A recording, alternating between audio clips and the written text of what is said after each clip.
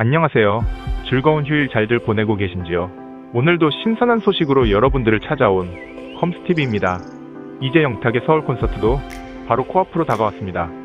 여러분들은 그날만을 손꼽아 기다리실 겁니다. 영탁 또한 자신의 생애 첫 콘서트인 만큼 그날만을 기다리겠지요. 오늘은 영탁이 뉴스 앵커들의 관심을 톡톡히 받는 소식들을 전해드리겠습니다. 좋아요, 구독, 알람 설정 부탁드립니다. 지금 시작합니다. 여러분들은 MBN에서 방송 중인 뉴스파이터에 대해 한 번쯤을 들어보셨을 겁니다. 김명준 앵커의 진행 아래 월요일부터 금요일까지 오후 4시 30분에 방송하는 뉴스파이터는 최근의 사건 사고 소식을 시사 전문가들과 함께 낱낱이 파헤치며 사이다 발언으로 시청자들을 시원하게 해주고 있습니다. 이곳에 바로 영탁의 방송이 나왔습니다.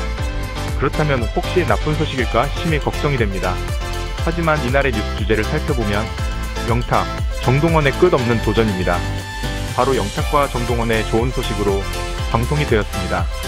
그렇다면 과연 어떤 소식들을 담았을까요? 뉴스 파이터처럼 낱낱이 파헤쳐 보겠습니다. 뉴스 파이터에서는 영탁의 신사답게와 머선일이구의 뮤직비디오가 소개되었습니다. 하재근 평론가는 영탁 씨의 뮤비를 보시고 시청자분들은 안구가 정화되셨을 것이라며 이유는 앵커들의 모습들을 지켜보다 영탁의 멋진 모습을 보셨기 때문이라고 소개합니다. 그러면서 심신의 안정을 찾으셨을 거라며 영탁의 멋진 뮤비에 극찬을 해주었습니다. 그러면서 영탁 씨가 새 앨범을 냈는데 타이틀곡에서 충격을 준다고 전했습니다. 그 이유는 영탁의 멋진 댄스와 퍼포먼스가 엄청나기 때문이라고 전했습니다. 마치 댄스 가수 같은 분위기를 연출했다며 특히 신사답게에서 포인트 안무가 엄청난 화제라고 소개했습니다.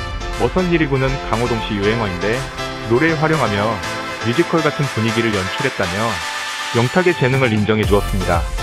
이에 김명준 앵커는 영탁 씨는 포인트 안무를 기똥차게 잘한다며 칭찬해 주었습니다. 허주연 변호사는 안무뿐만 아니라 다른 능력도 모두 갖춘 능력자 프로듀서라며 12곡 중 9곡을 작사, 작곡, 편곡에 참여한 싱어송 라이터로 소개했습니다. 참으로 옳은 이야기들만 전한 듯 보여집니다. 특히 매너가 사람을 만든다가 가사에 나온다고 소개했습니다. 영탁은 안동의 아들입니다. 하지만 김명준 앵커는 완도의 아들이라며 전복 먹으러 갈래를 소개했습니다. 바로 전복 홍보대사 영탁을 알려준 것입니다. 영탁의 전복 먹으러 갈래 뮤비까지 뉴스파이터에서 소개를 해주었습니다. 백성문 변호사는 영탁 씨가 해산물을 너무 좋아해서 전복 먹으러 갈래가 탄생했다며 전복 판매량이 466% 껑충 뛰었다고 전하고 전복 광고 모델과 더불어 전복 홍보대사 영탁을 소개했습니다. 김명준 앵커는 영탁의 선한 영향력 때문에 이런 일이 발생된 듯하다며 대박 사건이라고 전했습니다. 전남 지역은 농사와 어민들이 생계를 책임지는 지역이라며 영탁의 풍부한 가창력과 건강한 이미지로 전복을 홍보해 주어서 너무 잘 어울리다며 전복은 바다의 삼삼이라고 불리는데 영탁의 지역 발전에 크나큰 도움을 주었다고 전했습니다. 영탁의 소식은 여기서 끝이 아니었습니다. 영탁을 행운의 사나이로 소개하며 영탁이 불러준 로또 번호 4개가 적중하며 팬분들이 영탁의 번호로 많이 사셨는지 4등에 당첨된 사람이 총 15,000장이라며 행운의 사나이 영탁에게 어디 가기만 하면 로또 번호를 불러달라는 소식을 전하기도 했습니다. 이처럼 뉴스파이터에서는 영탁의 신곡부터 영탁의 그동안 활동하며 생긴 좋은 소식들을 엄선하여 뉴스 소식으로 전해주었습니다. 한 가지 아쉬운 점은 영탁의 콘서트 소식까지 전해주었으면 했는데 그건 빼먹은 듯 합니다. 그래도 이렇게 영탁의 여러 멋진 소식들로 시청자들에게 영탁의 선한 영향력을 보여주었습니다.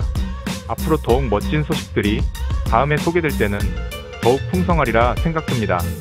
오늘은 영탁의 소식이 뉴스파이터에 소개되었다는 소식을 전해드렸습니다.